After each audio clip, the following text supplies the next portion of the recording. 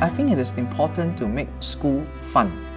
And when school is fun, you don't get kids waking up in the morning and say, oh, do I have to come to school again? So we embrace technology because it helps us make learning more engaging. I believe that when kids are engaged, when kids are interested, that's where learning takes place.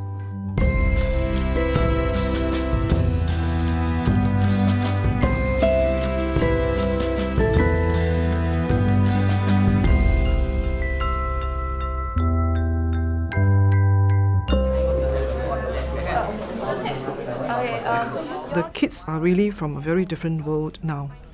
And really, to reach out to the kids, you need to be savvy with technology. If you're not savvy with technology, you're going to lose the kids in the school.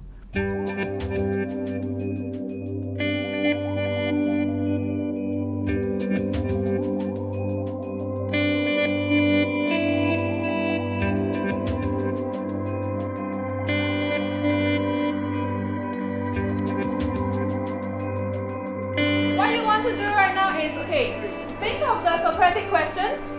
Ann Secondary School is a typical school in Singapore where we take in students with different academic abilities and uh, we have about 1,512 students in this school and, I, and they all come from the neighborhood.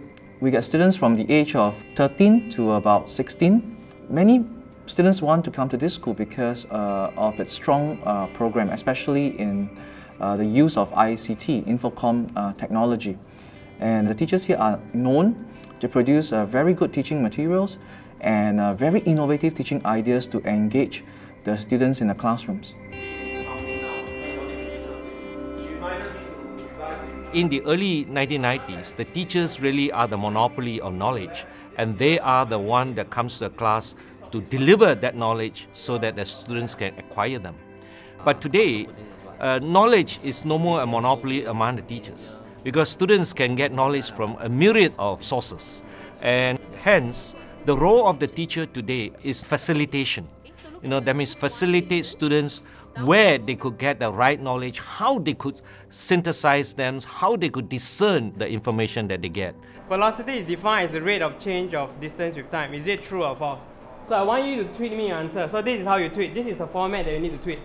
So you put in at sign, vote by tweet one. We look at technology very meaningfully and we see how can we leverage this technology to make a very significant impact in the classroom instruction. I'll give you an example.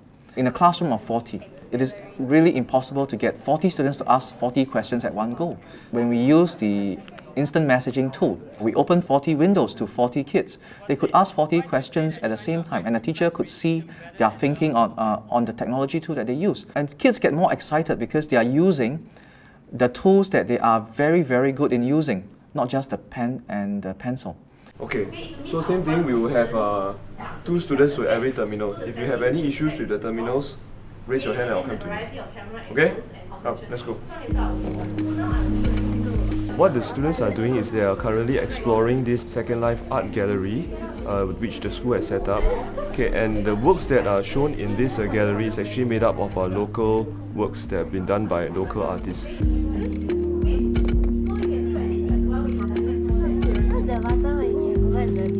First of all, the online platform is very, very useful because uh, it's something that really engages the students. They will be chatting with one another okay, about the works using the elements of art, principles of design, as well as uh, reading other students' comments as well. If they would like to, they can actually leave notes uh, for other students to read.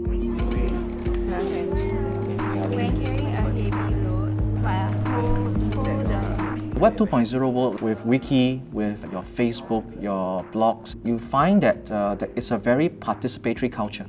It calls for a lot of collaboration. They no longer become just a consumer of knowledge. They actually produce knowledge. What are the important things that you have discovered so far? the election here abduction. Tendency to lose their. I find that students themselves are often on Facebook. So instead of looking at them and, and looking at Facebook as a distraction, I would rather use it to engage them. They even like when they're stuck with certain question, they, they post up the question to the class and you see responses and they are learning from each other, which I think it's um, better because there's more motivation, intrinsic motivation for them to learn rather than um, okay, I tell you to do this and I tell you to do that.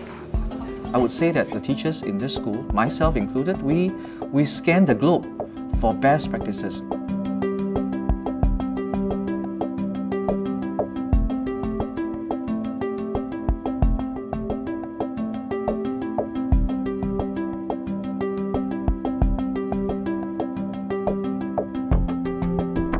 Now, follow URL, it will lead you to a Google form.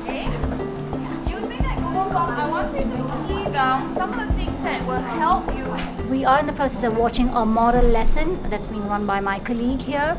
And the whole process of uh, us watching the lesson is to uh, gain uh, some kind of uh, points from her lesson and also to provide our feedback. We discuss it to come up with a better lesson because definitely learning grows with sharing and communication, and there's definitely scope for improvement for any lesson.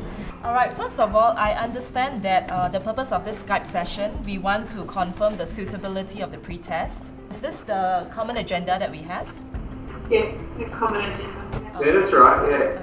Okay. Maybe we can think about is, is if we give it to the children as is, um, some of them might actually come up with the idea of the steepness of the slope. There's always something new to learn. You're never at a standstill. You're always uh, moving ahead, pushing boundaries, trying to discover new things, new ways of teaching.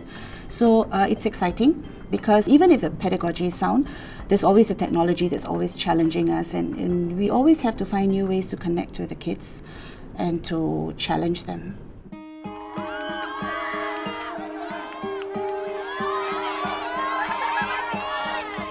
So I think we do look at how the world has changed and teaching cannot stay stagnant. So the teachers recognize the fact that they cannot teach the same way they were taught 10, 20 years ago, that they have to be very adaptive in their methods. And when they do that well, they know they are going to engage the kids. And when you engage the kids, that is where real learning takes place.